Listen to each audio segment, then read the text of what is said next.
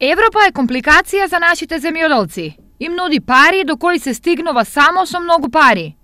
Процедурата за аплицирање за новиот оглас на ИПАРТ програмата годинава е многу посложена – и има нови услови кои за нашите земјоделци се непознати. Има некои нови услови кои се од добра земјоделска пракса, кои ја, кои дават малку поттешко за пријавување и за апликанти. Така да не очекувам дека на крајот ќе имаме малку поголем број, но не знам дали ќе биде како ланскиот, како што е се очекува. Се на се пак ќе видиме на крајот. Комплицирањето на постапката за аплицирање од година во година е причина земјоделците од европските пари да кренат раце. Таа постапка ништо не е лесна, дури а, те примеруваат да купуваш од таму од тие фирми, они што ќе ти кажат, а не ти да најдеш поевтино и поскапо, кога ќе направиш калкулацијата да речеме цената од другото место и од тоа место дека ќе го земеш, исто испаѓа.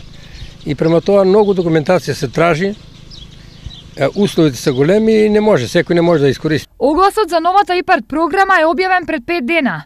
И за сега во Штип, за истиот земјоделците само се информираат. Се информираат луѓето, се прашуваат, зимаат значи брошурички, им даваме информации а, кои документи потребни, број на документи, какви документи се на се треба, за да можат тие сами да видат дали ќе можат тие да ги приберат се документи, па потоа ние да почнеме да ги изработуваме со изработка на деловни, на деловни и овие технички предлог проекти. Доказ дека на нашите земјоделци со парите од Европа им оди тешко е тоа дека на предходниот оглас 15,6 милиони евра останале неискористени.